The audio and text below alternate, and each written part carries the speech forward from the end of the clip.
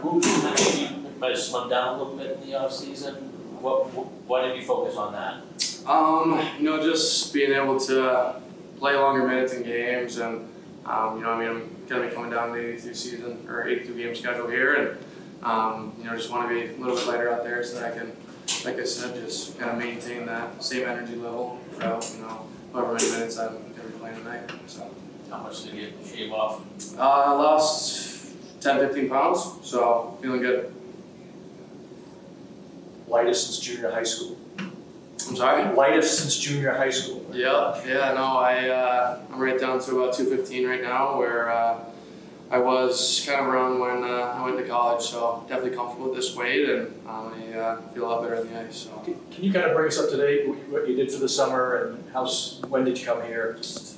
Yeah, I uh, spent most of my time out in Ann Arbor. Um, trained right at uh, USA Hockey Arena with uh, GVN, and then um, skated with Brandon Naurato. Um, great summer, you know. Took some really big strides on the ice, and um, you know, was able to spend a little bit more time with some of my buddies from school, and um, so yeah, no, I really enjoyed it. And then went home for a week, and then came out here about two weeks ago, and um, kind of started skating with the guys, and you know, getting a little acclimated to the area, and um, it, uh, it's been great so far. So. I know you got to spend some time in Providence last year, but do you feel just in terms of life, this is a different stage in the school's year, work, work, uh, hockey is, is here? Yeah, definitely. I mean, you know, for the last couple of years, my coaches have been telling me to, you know, enjoy college and, and that lifestyle because once you come here, it changes drastically. And um, I mean, that was pretty evident, you know, right when I stepped foot in Providence. Um, I mean, you, you really sort of take in that it is now a job, and um, you know, I mean, people are coming for your position, and you're coming for other people's positions. So, um, you know, I mean, at, the- end of the day, you, you definitely have to be a lot more dialed in, you know, on a day-to-day basis. And um, but you know, I mean, it's a ton of fun. I mean, to be able to, you know, play hockey for, for a living is, is pretty special, and you know, not something I take for, for granted.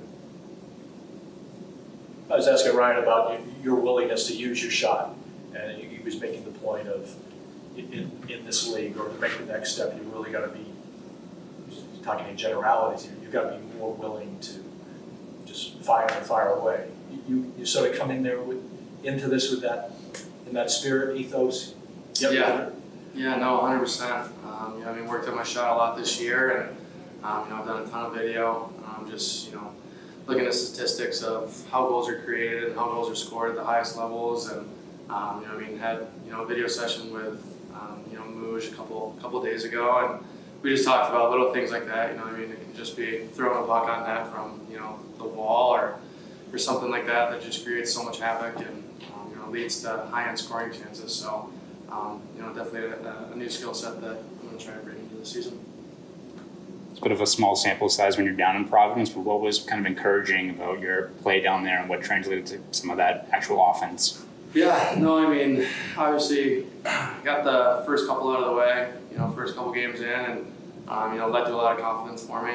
Um, and then, you know, I had a, a bit of a bigger role than I had at the University of Michigan, you know, getting power play minutes and, um, you know, playing top two lines. And, um, you know, I mean, I think that definitely, definitely helped contribute to that. Um, you know, a couple lucky bounces here and there, and a couple good plays from my teammates. Um, but yeah, no, I mean, a lot of it just goes back to confidence. Once you get the first couple, then they seem to come in bunches. So you, uh, you kind of want the puck in your stick at all times at that point, and that's kind of how I was feeling for, for a little bit there. So it was good.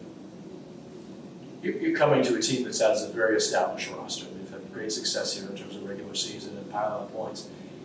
That said, can you envision a path to make the varsity this year? That this, this is what I could do, this is how I get there.